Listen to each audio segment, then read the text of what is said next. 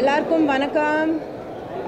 Thank you all for coming here and இன்னைக்கு it's one of our biggest nights and நீங்கள் எல்லாரும் இங்கே வந்து சப்போர்ட் பண்ணுறதுல ரொம்ப ரொம்ப சந்தோஷமாக இருக்குது so thank you I am looking forward to it நீங்கள் மாதிரி ஏன்னா ஐ திங்க் இந்த மாதிரி ஒரு பெரிய மிகப்பெரிய ஃபங்க்ஷன் நடந்து நான் போனதில்லை since the pandemic so I am really looking forward to spending time with my PS team and of course Rajini sir and Kamal sir thank you குந்தவிக்காக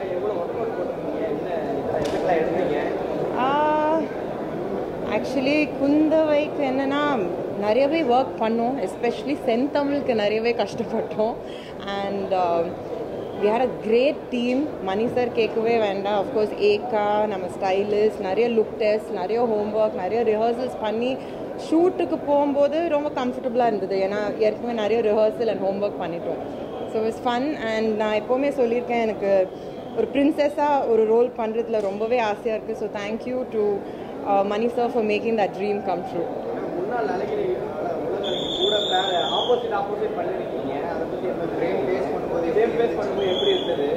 ரொம்பவே நல்லா இருந்தது. And Ash is so beautiful inside and outside and இது என்னென்னா more than me and Ash அந்த Kundavai and Nandini நிறைய face of scene அதெல்லாம் um, எல்லாருக்கும் தெரியும். It's one of the highlights in Ponniyin Selvan so it was really nice I think நம்ம more than Trisha and Ash we were more Kundavai and Nandini thank you guys